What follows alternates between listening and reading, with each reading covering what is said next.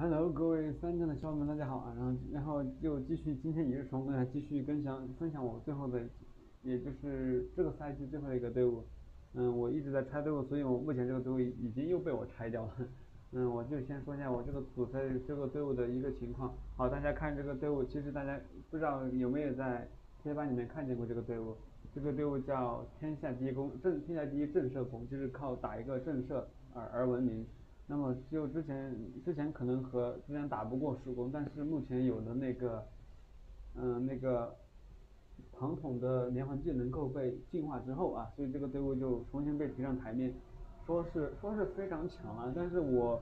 实实际体验了一波，确实感觉就就那样吧，就是输出还是有有点那个。第一个究其原因，这个队伍的话非常依赖红柱，第二个的话，嗯你首先其他的不说，你第二个城普。必须得封啊，然后第三个还是怕那个季琼的那些队伍，震慑的震慑非常强的一些队伍，相对来说这这队就不怕缴械那些啊。然后先说一下我最开始搭配的一个一个出发点，就是那个就说一下那个队伍的整体的一个情况吧。然后周瑜的话，就是他的生活技是靠主动战法来出动，所以。所以只要你用到周瑜夺魂胁迫，几乎是和他百分之百绑定的一个战法，这就不说了。好，第第二个我给他带来是一个，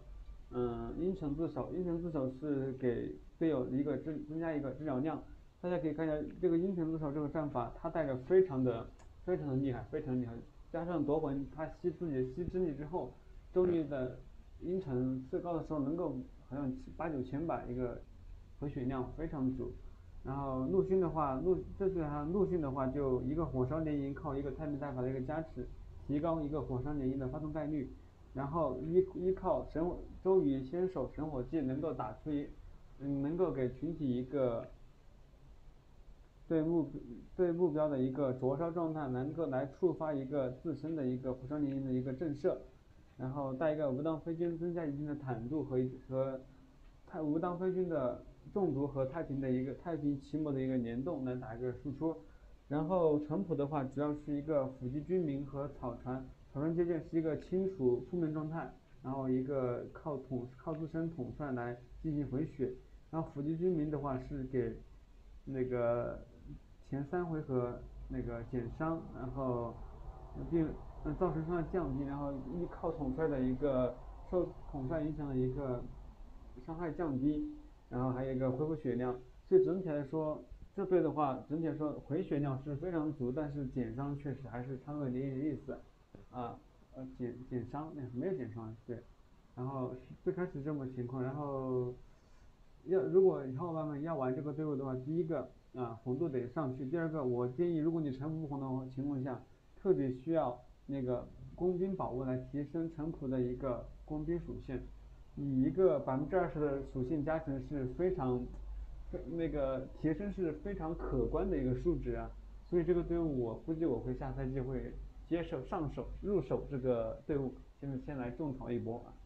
然后就马不停蹄的就进入直接进入战报啊，直接进入战报，因为其实说一下，因为马上就现在这个 S 六赛季马上结束，所以现在一般都是和侠客军在打架。啊，所以战报就战报也就可能那那么几个人，啊，因为这个赛这个区就特别冷清，然后还到处到处找着图拎着图还打，然后就人就那么几个，然后战报也就可能那么多，嗯，然后说下我这这对上这这个震慑弓上手体验不是很好啊，所以我给他开了，但是下赛季我选择一个工兵宝物之后，我就准备上手这个队伍了，这个队伍其实就可以可以克藤甲，藤甲那就完全不在话下。第二个是无枪，哎，有有那个有讲究啊，可能会有用，可能会有用。第三个是打一个曙攻，打个曙攻，曙攻其实只要你红度上去，我觉得有可能一战，因为因为庞统的草船能够被净化啊，然后其他队伍也可以值得一试，那就下赛季先种草一波，然后看一下战报，战报，哎，这是第一个，这是打对对面刚那个一个吴起。打那个魏法奇，呃，一个带枪兵的魏法奇，但象兵被火烧之后就有一个混乱啊，这个混乱，然后但是杂七有个解混乱嘛，哎，就这样，还还看目前这个先可以看一下回血量，哎，周瑜，周瑜阴沉就发就发动了一次呀，这阴沉是百分之五十的概率，这有点儿有点可惜，有点可惜。然后输出的话，这局这局还是持平吧，还是持平吧。对面的哦，对面有个程昱，程昱的十米埋发动了四次，那金辽 金辽拉金辽拉主了，所以可能回血量也不是那么够啊，也不是也不是，我这边的回血量不是很高，因为被金辽了嘛。那第二队打的是他，对这队的天敌就是一个桃园啊，非常非常怕桃园。那接到后面，哎，这是打打对面队，这就是一个哎，这是一个没有一个没有太平的麒麟宫都打成这样，所以我就觉得，嗯，就这么来说，其实效果不是没有到达一个想象中的一个地位吧，所以。可以看一下输出，输出非常少，但是回血真的是拉拉满，回血是超赞啊！竟然还输出还没有一个还没有一个姜维高，就是很简单，我可以大概分析一下这张战报。首先看一下，第一个伏击居民减伤肯定加到多半加到一个周瑜和陆逊身上，然后对面的诸葛亮的八门也多半加到这两个武将身上，我们来解密一下，看一下伏击居民。对，伏击军民果然加到了周瑜和陆逊身上，周瑜和陆逊的造成的谋略伤害，陆逊直接降了百分之八十，啊，周瑜减，周瑜降了百分之二十六啊，可见八门是给了陆逊和一个程普，诸葛亮带八门真的太恐怖了，直接降百分之五十五，五十百分之五十五啊，太高了太高了，然后，而且就就这么来就看这份战报，其实对面对面没有那个，没有太平，连环就发连环环就发动一次。但是伤害都都只能说是险平吧，险平。所以这个队伍其实我还是有点儿还是有点怀疑的。所以下个赛季一起见分晓。然后第二张打的是他的一个，哎，这个这个是假桃园，这这这没，我一直一直打平，哎，打平，两边都是拼拼治疗量，我这边治疗还没有对边强一点。然后第二张也是一个拼一个治疗，哎，太太恶心了！哇，对面刘备这么厉害的吗？奶妈呀，这这绝对三国奶妈，大奶牛啊这。然后继续看后面的战报，哎，然后对面对面对面对面对面对面对面，哎，对面咋没有？不，不就拆了吧？不会吧？不会吧？哎，这有了，哎，看着看着这样子好像连穿的，但我估计多半都是残兵。一个哎，一个果然打这个残兵。哎呀，斯巴达，哎呀，没啥用。哎呀，没啥用，就这样吧。啊，看这个，哎，这是打了一个桃园，哎，打了一个藤甲，啊，这次就完全不用怕那些啥啥乱七八糟的藤甲了，这直接烧就完了，烧的烧的他，哇，三千多战功轻松拿下。这，你看陆逊只要碰到碰着火，你你估计是完了。这我这边就是一个火系呀，加震慑系的。然后估计他没了，嗯，这是打一个，又是打他的一个，哎，这是这是打相对来说非常技能非常标准的一个属质，看吧，就是我觉得打不过，真的打不过，哎，还还对，对面八门还没有给诸葛亮带，都打不过，非常非常，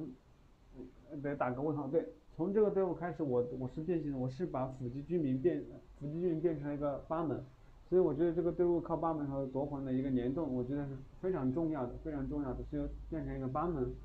嗯，但是还是打不过，哎，不，输了，然后继续继续继续，哎，这是这是又打他的一个，哎，呀，你看很惨了，我就觉得，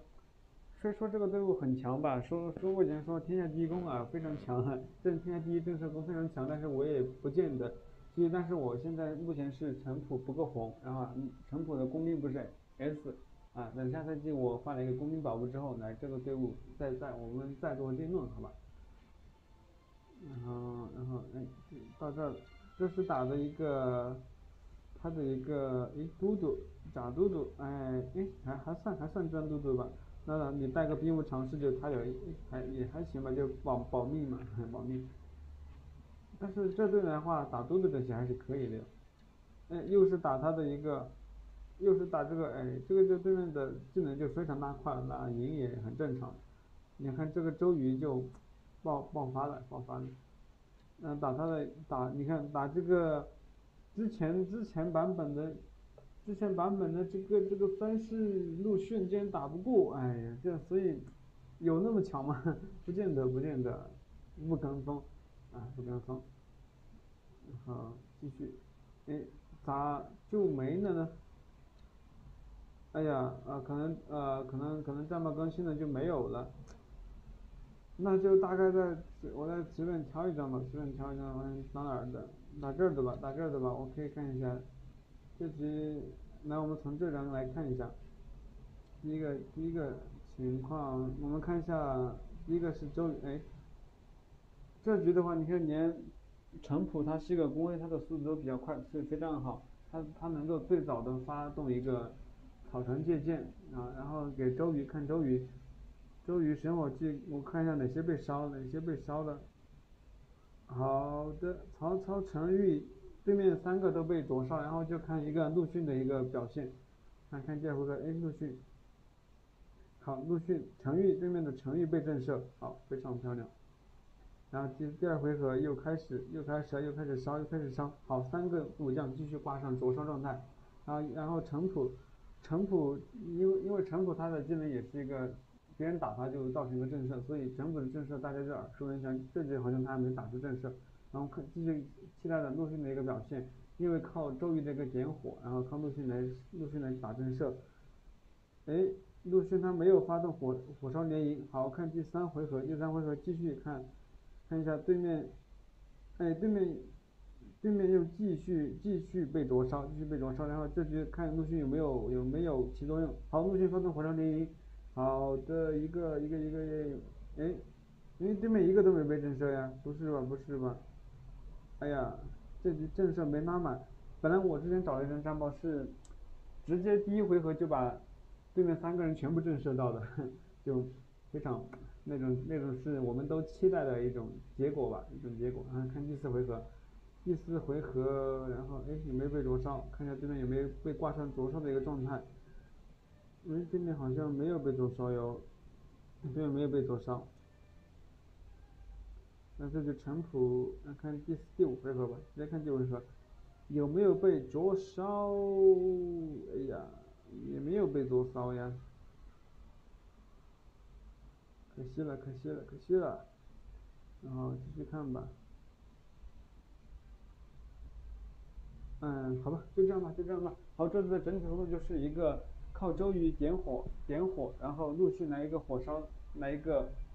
震慑，然后再依托一个城普，城普，然后那一个草船，草船来个来一个进出，然后一个自身的勇烈持重的一个震慑，所以被天下天下第一震慑功啊，非常名字倒非常霸气，但是我目前的实测非常的拉胯，嗯，然后再整体再再来说一下这个队伍，如果你要玩这个队伍，首先红度得得得得上去。第二个城普，城普我建议，如果你不红的情况下，必须得一个工兵保护的一个支持。第三个，然后第三个的话，陈普我建议，如果想增加这队的一个整体的一个强度，陈普如果有个原护甲的话，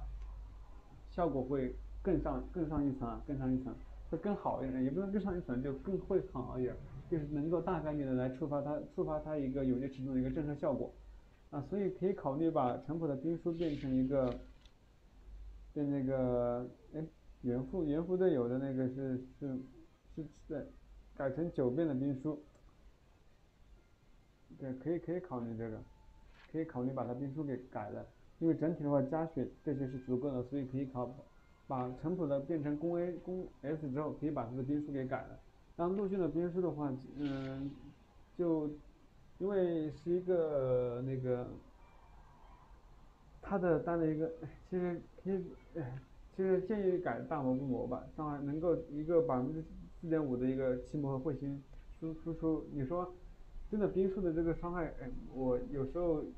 后面我做战报的时候，看战报的时候可以截个图啥的，就其实百分之四点五，你别看它小，如果打机制队伍，像打张飞那种，能够这个一小小的一点气魔能够。达到一个上千的一个伤害，就像那个甘宁一样，他的甘宁彗星也是一个靠打输出的一个情况啊，是这样，